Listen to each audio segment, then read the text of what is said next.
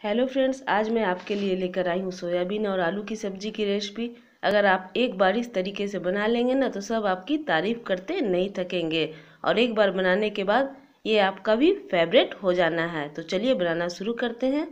तो यहाँ पर मैंने सौ ग्राम सोया बड़ी ले लिया है। तो ये ज़्यादा ना छोटा है, ना ज़्यादा बड़ा मीडियम साइज़ का मैंने यहाँ सोया बड़ी लिया है। उसे अब हम पानी से धो लेंगे अच्छी तरह से, ताकि इसमें जो भी डस्ट हो, वो निकल जाए। तो यहाँ पर देखिए, मैंने इसे अच्छी तरह से धो लिया है। अब हम एक पतीला गरम करेंगे और उसमें अपने सोया बड़ी को डाल देंगे। अब इसमें हम एक चम्मच नमक डालेंगे। नमक से सोया बड़ी के अंदर नमक का टेस्ट चला जाएगा और यहाँ दो चार बूंद हम तेल डालेंगे। तेल डालने से ना हमारा सोया बड़ी जो है, वो एकदम से ड्राई नहीं होगा। और सॉफ्ट बना रहेगा। तो इसे हमें अच्छी तरह से बॉयल करना है। बहुत लोग ऐसे ही धो के बना देते हैं। लेकिन बॉयल करने से ये थोड़ा सा सॉफ्ट बनता है। तो आप एक बार इस तरह से बॉयल करके ज़रूर बनाइएगा। अब देखिए, इसे ठंडा थोड़ा होने देंगे और इसका सारा पानी हमें निचोड़ के निकाल लेना है हाथों से। इसमें पानी एकदम नहीं रहना चाहिए। तो देखिए, मैंने सारा पानी इसका निकाल लिया है। अब यहाँ हम पाँच मीडियम साइज़ के आलू ले लेंगे। बॉईल किया हुआ, इसे मैंने बड़े बड़े टुकड़ों में काट लिया है। अब एक कढ़ाई गर्म करेंगे, उसमें तीन चम्मच हम तेल डालेंगे। और जो आलू हमने काट के रखा था, उसे हमें फ्राई कर लेना है। आलू फ्राई करने से थोड़ा सा सब्ज़ी में सौंधा सा टेस्ट आता है तो आलू को आप बढ़िया से फ्राई कीजिएगा, गोल्डन ब्राउन होने तक। तो देखिए, आलू हमारा अच्छे तरीके से फ्राई हो चुका है। अब इसमें हम अपना सोया बड़ी डाल देंगे। और इसे भी अच्छी तरह से मिक्स कर देंगे। सोया बड़ी को ज़्यादा हमें फ्राई नहीं करना है, नहीं तो वो थोड़ा सा टाइट हो जाता है और खाने में मज़ा नहीं आता है तो बस इसे हम अच्छी तरह से मिक्स कर देंगे। अब इसे हम एक प्लेट में निकाल देंगे। वापस से हम उसी कढ़ाई में तीन चम्मच तेल डालेंगे।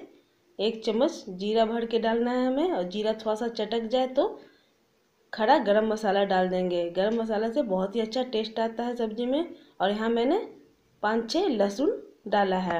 लहसुन को थोड़ा सा हमें गोल्डन ब्राउन होने देना है और दो लाल मिर्च डालेंगे।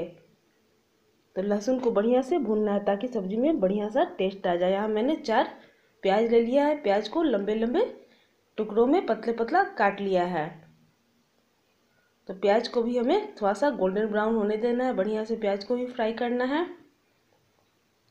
तो देखिए प्याज भी हमारा बढ़िया सा गोल्डन ब्राउन हो चुका है। अब यहाँ हम दो टमाटर ले लेंगे, उसे भी डाल देंगे और यहाँ हम स्वाद के अनुसार नमक डाल देंगे ताकि टमाटर अच्छी तरह से गल जाए।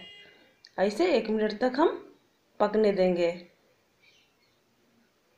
तो चलिए चेक कर लेते हैं, एक मिनट बाद देखिए। अब इसमें सारे मसाले हम ऐड कर देंगे। एक चम्मच हल्दी पाउडर, डेढ़ चम्मच लाल मिर्च पाउडर, एक कम तीखी वाली लाल मिर्च पाउडर है और यहाँ एक चम्मच भर के हम धनिया पाउडर डालेंगे। और यहाँ एक चम्मच के करीब हम मीट मसाला डालेंगे। अगर आपके पास मीट मसाला हो तो ज़रूर डालें। इससे सब्ज़ी में बहुत ही बढ़िया सा टेस्ट आता है। इसे अब हम फ्राई कर लेंगे जब तक कि हमारा मसाले का कलर न चेंज हो जाए। तो देखिए, एक मिनट बाद हमारे मसालों का कलर चेंज हो चुका है। ये अच्छी तरह से फ्राई हो चुका है। अब इसमें हम अपना आलू और सोया बड़ी को डाल देंगे और इसे अच्छी तरह से हमें मिक्स करना है और एक मिनट तक फ्राई करना है। तो इस तरीके से आप एक बार ज़रूर सब्ज़ी बनाइएगा। ये खाने में बहुत ही ज़्यादा टेस्टी लगती है। ये रोटी, चावल सभी के साथ बहुत ही ज़्यादा टेस्टी लगती है फ्रेंड्स। तो ये देखिए, मैंने अच्छी तरह से इसे मिक्स कर दिया है। अब इसमें हम पानी डाल देंगे। तो पानी मैं थोड़ा सा ज़्यादा डाल रही हूँ। आप अपने अनुसार कम या ज़्यादा कर सकते हैं, क्योंकि पानी बाद में सोया बड़ी ना वो सोख लेता है वापस से। तो इसीलिए ठंडा होने के बाद वो थोड़ी सब्ज़ी गाढ़ी हो जाती है। तो यहाँ पर हम एक चम्मच भर के गरम मसाला ऐड कर देंगे और इसे भी अच्छी तरह से मिक्स कर देंगे। तो देखिए, मैंने इसे अच्छी तरह से मिक्स कर दिया है। अब इसे हमें एक मिनट तक पकाना है। तो चलिए, एक मिनट बाद चेक करते हैं। तो देखिए, इसमें एक अच्छा सा बॉयल आ गया है। सारे मसालों का फ्लेवर सोया बड़ी और आलू में चला गया है। अब इसमें एक चम्मच हम देसी घी डालेंगे और गैस को बंद कर देंगे।